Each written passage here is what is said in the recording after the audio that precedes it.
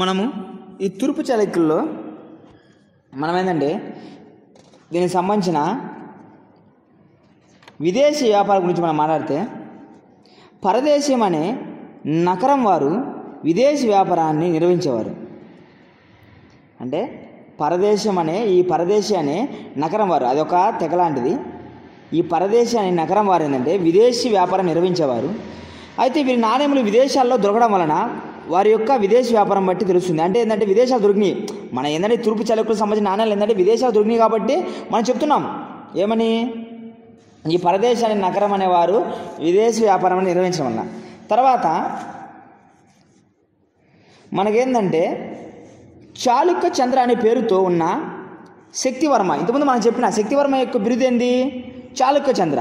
అంటే చాళుక్య చంద్ర అనే పేరుతో ఉన్న శక్తివర్మ రాజరాజ నరేంద్రుని బంగారం అనే బంగారం నాణ్యాలనేటి బర్మాలోని అరకాను వద్ద ఉన్న రామ్ర రామ్ర దీపంలోని సయాంలో బయటపడ్డాయి. అంటే మనకి ఎగ్జామ్ పాయింట్ ఆఫ్ ఏంటంటే ఈ రాజరాజు బంగ రాజరాజునికి సంబంధించిన బంగారు నాణాలు అనేది బర్మాలోని అరకంలో వద్ద ఎక్కడ ఏ ద్వీపంలో బయటపడ్డాయి అంటే రామ్రా ద్వీపంలో బయటపడ్డాయి. అయితే ఈ తూర్పు చాళుక్యుల కాలంలో విదేశీ వ్యాపారం నిర్వహించిన దేశాలు ఏంటంటే వేడితో విదేశీ వ్యాపారం నిర్వహించడం అంటే మనము థాయిలాండ్ మలేషియా ఇండోనేషియా శ్రీలంక. ఈ థాయిలాండ్ మలేషియా ఇండోనేషియా శ్రీలంక అనే వాటితో ఎక్కువ జరుపుతాను. అయితే కొన్ని రేవులకి ఏంటంటే తమిళ పేర్లు కూడా పెట్టారు. అంటే విశాఖపట్నం రేవుకి ఏం పెట్టారంటే కులోత్తుంగ చోళపట్టణం విశాఖపట్నం ఏం పెట్టారు? కులోత్తుంగ చెవులు పట్టణం. నెక్స్ట్ మోటుపల్లికి ఏం పెట్టారు అంటే దేశీయ కొండపట్టణం. అంటే విశాఖపట్నం అంటే వీటిని ఏంటంటే విశాఖపట్నం అంటే మనకు ఓడరేవులు అనొచ్చు లేదా కులోత్తుంగ కులోత్తుంగ చోళపట్నం అని అంటారు. మోటుపల్లి అయితే దేశీయ కొండపట్టణం ఘంటసాల అయితే చోళ పాండ్యాపురం. ఘంటసాల అయితే చోళ పాండ్యాపురం. గండ గండ గోపాలపురం ఏంటంటే కృష్ణపట్నం. గండ గోపాల ఈ గండ గోపాలపురం ఏంటంటే కృష్ణపట్నం. తర్వాత అంటే ఏంటంటే మనకి ఎగ్జామ్ పాయింట్ ఆఫ్ విశాఖపట్నం మనకి యొక్క ఓటరేవకి మరొక పేరు ఏంటంటే కులోత్తుంగ చోళపట్నం మోటుపల్లి ఓడరేవకు ఇంకో పేరు ఏంటంటే దేశీయ కొండపట్టణం. ఈ ఘంటశాల ఓడరేవకు మరొక పేరు ఏంటంటే చోళ పాండ్యపురం. ఈ గండ గోపాలపురంకు మరొక పేరు ఏంటంటే కృష్ణపట్నం. తర్వాత ఈ కాలం నాటి వాణిజ్య వివరా వివరాలను తెలిపే శాసనం ఏంటంటే అహాధనకర శాసనం. ఈ కాలం నాటి వాణిజ్య వివరాల వివరాలను తెలిపే శాసనం ఏంటంటే అహాధనకర శాసనం. అయితే వా ధాన్యం అనేది ధాన్యం సంబంధించిన దానికి సంబంధించిన వగేరా కొన్ని దిశలు అంటే కొన్ని దినుసులు. దానికి సంబంధించిన కానీ ఏ దినుసులైనా సరే కానీ వగేరా ఇవన్నీ మొత్తం సంబంధించి కొలిచేటప్పుడు కొలిచిన మొత్తంలో ఎంత సుంకాన్ని తీసుకునేవారంటే వన్ బై సిక్స్టీన్ వంతు సుంకం తీసుకునేవారు అంటే హండ్రెడ్ పర్సెంట్లో వన్ సిక్స్ పర్సెంట్. అంటే వంద పర్సెంట్లో వాళ్ళకి అనేది మిగతా అంతా పదహారు పర్సెంట్ వీళ్ళు తీసుకునేది మిగతా పర్సెంట్ అంతా వాళ్ళకి ఇచ్చేస్తారు. అంటే మనకి ఎగ్జామ్ పాయింట్ ఆఫ్ ఏంటంటే ఈ తూర్పు చలివి కాలంలో దినుసులు కొలిచేటప్పుడు కొలిచిన మొత్తంలో ఎంత సుంకాన్ని రాజులు తీసుకునే వాళ్ళంటే one by sixteenth one by one six వంతు సుంకాన్ని తీసుకునేవారు.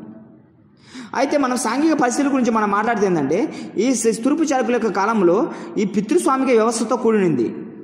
అంటే పితృస్వామి వ్యవస్థ అంటే ఒక ఇంటికి ఎవడు పెద్ద? తండ్రే పెద్ద. అయితే చతుర్వర్ణ వ్యవస్థ అమల్లో ఉంది.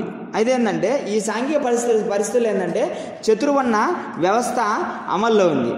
ఎలా అంటే బ్రాహ్మణ క్షత్రియ వైశ్య శూద్రులు. ఈ బ్రాహ్మణ క్షత్రియ వైశ్య శూద్రులు. ఈ బ్రాహ్మణులు ఏంటంటే బ్రాహ్మణుల గురించి మనం మాట్లాడుతుందంటే తూర్పు చాళుక్యుల కాలంలో ముఖ్య స్థానం ఏంటంటే బ్రాహ్మణులదే. అంటే ఏంటంటే ఈ బ్రాహ్మణులది అనేది అగ్రవర్ణంగా ఉంది. అంటే క్యాస్ట్ ప్రకారం హైయెస్ట్గా ఉంది. అంటే ఫస్ట్ ఏంటంటే బ్రాహ్మణులు తర్వాత క్షత్రియులు తర్వాత వైశ్యులు తర్వాత శూద్రులు. సరే బ్రాహ్మణులు ఏంటంటే తూర్పు చాళుక్యుల కాలంలో ముఖ్య స్థానం ఎవరికి అంటే ఫస్ట్ బ్రాహ్మణులకు ఉండింది. అయితే బ్రాహ్మణుల్లోనే మూడు రకాలుగా వర్గీకరించబడ్డారు. అంటే బ్రాహ్మణుల గురించి మనం మాట్లాడుతున్నాం అంటే బ్రాహ్మణులు ఏంటంటే మెయిన్ టాపిక్ దాని సబ్ టాపిక్గా త్రీ ఉన్నాయి. మూడు వర్గాలుగా. స్తోత్రియ స్తోత్రియ వైదిక నియోగులు. అంటే స్తోత్రిక అనే వాళ్ళు ఏంటంటే మంత్రాలను ఉచ్చరించేవారు. అంటే ఈ బ్రాహ్మణుల్లో మనం మూడు వర్గాల గురించి మనం మాట్లాడుతున్నాము. స్తోత్రియ వైదిక నియోగులు. ఈ స్తోత్రియ అంటే స్తోత్రాలు. అంటే ఏంటంటే చెప్తా అంటారు? మంత్రాలు ఊ, అది ఇది అని చెప్తా ఉంటారు అంటే యజ్ఞ యాగాలు నిర్వహించే వాళ్ళని ఏంటంటే స్తోత్రి అంటాము. వైదిక అంటే వీరికి అనేది ఈ వైదిక అంటే దేవాలయ నిర్వహణ. అంటే దేవాలయ సంబంధించిన నిర్వహణ ప్రాధాన్యత కలిగి ఉంటారు. ఎవరంటే వైదిక. నియోగులు అంటే ఏంటంటే వీళ్ళు అటు మంత్రాలు చదవరు అటు దేవాలయాల్లో కూడా ఉండరు. కేవలం రాజ్య పాలనలో రాజుకు మాత్రమే సహకరించేవారు. అంటే మంత్రులు సేనాధిపతిలా ఉంటారు. ఎగ్జాంపుల్ ఏంటంటే మంత్రులు సేనాధిపతిలాగా ఉంటారు నియోగులు. అంటే మనకి ఎగ్జామ్ పాయింట్ ఏంటంటే తూర్పు చలుకుల కాలంలో ముఖ్య స్థానం ఎవరిది అంటే బ్రాహ్మణులది. అయితే స్తోత్రి అనేవాళ్ళు మంత్రాలను ఉచ్చరించేవాళ్ళు. వైదిక అంటే వాళ్ళు వాళ్ళు ఏం చేస్తారంటే ఈ బ్రాహ్మణులు ఒక ఒక వారంటే వైదిక అనేవారు దేవాలయ నిర్వహణ చేస్తాను తర్వాత నియోగులు అంటే ఏంటంటే రాజ్యపాలనలో రాజు సహకరించేవారు. అంటే బ్రాహ్మణులు ముగ్గురు అండి మంత్రం ఎవరు స్తోత్రియ.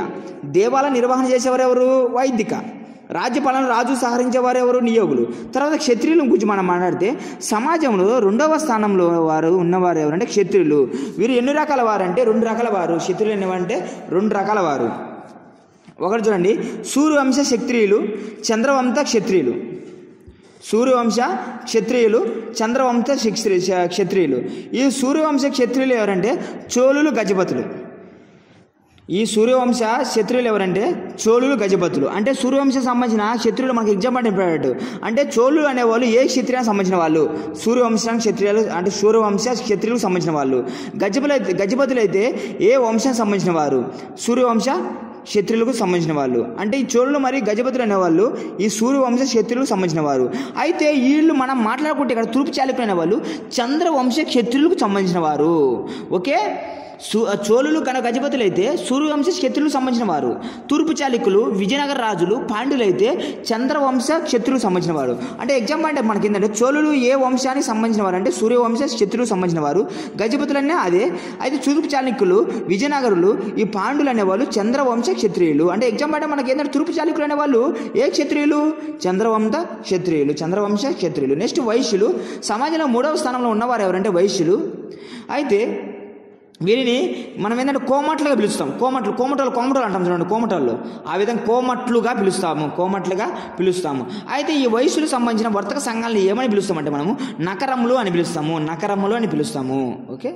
అంతే వయసుల గురించి. తర్వాత శూద్రులు ఏంటంటే సమాజంలో నాలుగో స్థానంలో ఉన్న వాళ్ళు ఎవరంటే శూద్రులు. వీరిలో ముఖ్యులు ఎవరంటే విశ్వకర్మలు. ముందులో ముఖ్యులు అంటే విశ్వకర్మలు.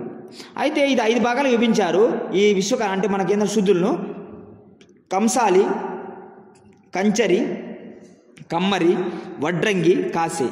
అంటే శుత్రులు అనేవాళ్ళు ఆ కాలంలో ఎన్ని భాగాలు విభజించారంటే ఐదు భాగాలు విభజించారు. కంసాలి కంచరి కమ్మరి వడ్రంగి కాసే విశ్వకర్మలు మొదటి చూడండి ఇక్కడ మనకి ఏమంటాము వీళ్ళు శుద్రుల ముఖ్య వాళ్ళు ఎవరు? విశ్వకర్మలు. ఈ విశ్వకర్మలు అనేవారు మొదట జైన మతాన్ని అవలంబించి తర్వాత శైవ మతం ద్వారా హిందూ మతంలోకి ప్రవేశించారు. ఈ విశ్వకర్మలు అనేవాళ్ళు ఏంటంటే ఈ మొదట జైన మతాన్ని అవలంబించి ఆ తర్వాత శైవ మతం ద్వారా హిందూ మతంలోకి ప్రవేశించారు. తర్వాత మత పరిస్థితులు. తర్వాత మనం అంటే మత పరిస్థితుల గురించి మనం మాట్లాడంటే ఈ మత పరిస్థితులు వీటి గురించి మనం అనేది సపరేట్ అనేది క్లాస్ అనేది సపరేట్ చేసుకుంటాము. బౌద్ధ మతం ఏ విధంగా ఉంటుంది? ఈ జైన మతం ఏ విధంగా ఉంటుంది అనేది దానికి అనేది సపరేట్గా అనేది మనం మాట్లాడుకోవడం జరుగుతుంది. ఓకే? దీని గురించి అనేది మనం అక్కడే మాట్లాడుకుంటాం. వాడి కాలంలో మనకు అనేది విద్యా విధానం ఏ విధంగా ఉండింది? వాటి గురించి అనేది. అయితే ఇందులో మనము తెలుగు భాష వికాసం సంబంధించిన వాటి గురించి మనం మాట్లాడితే ఈ తెలుగు భాష వికాసం సంబంధించిన అంటే ఎవరెవరు ఏ శాసనాలు వేయించారు వాటి గురించి మనం మాట్లాడితే అమరావతి శాసనంలో అంటే ఇంపార్టెన్స్ ఏ శాసనాలు వాటి గురించి మనకి ఇంపార్టెన్స్ గురించి మనం మాట్లాడితే ఏంటంటే ఫస్ట్ వన్ అమరావతి శాసనం. ఈ అమరావతి శాసనం గురించి మనం మాట్లాడితే ఏంటంటే నాగబు. ఈ నాగబు అనేది మొదటి తెలుగు పదము. ఈ నాగపు అనేది ఈ అమరావతి శాసనం పైన అమరావతి శాసనంలో మొదట కనబడిన తెలుగు పదం ఏంటంటే నాగపు వీటిపైన అమరావతి శాసనం పైన పరిశోధన చేసిన వ్యక్తి ఎవరంటే వేటూరి ప్రభాకర శాస్త్రి. అంటే ఎగ్జామ్ పాయింట్ ఆఫ్ ఏంటంటే అమరావతి శాసనంలో కనిపించిన తెలుగు పదం ఏంటంటే నాగపు అయితే ఇది అనేది ఎవరు పరిశోధన చేశారు ఈ అమరావతి శాసనం పైన అంటే వేటూరి ప్రభాకర శాస్త్రి. తర్వాత కల్లమల్ల శాసనము. ఈ కల్లమల్ల శాసనం అనేది మనకేందంటే ఈ కలమల శాసనం అనేది ఏంటంటే గుర్తుపెట్టుకుంటే మొదటి తెలుగు ప్రాచీన గద్య శాసనం.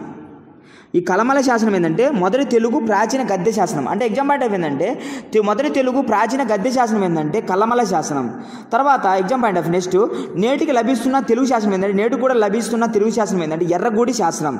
నేటికి లభిస్తున్న తెలుగు శాసనం ఏంటంటే ఎర్రగూడి శాసనం. తర్వాత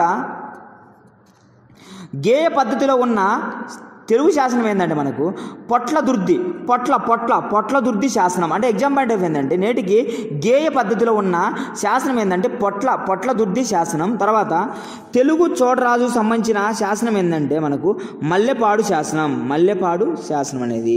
అంటే ఇక్కడ రిమైనింగ్ అనేది చాలా శాసనాలు ఉన్నాయి.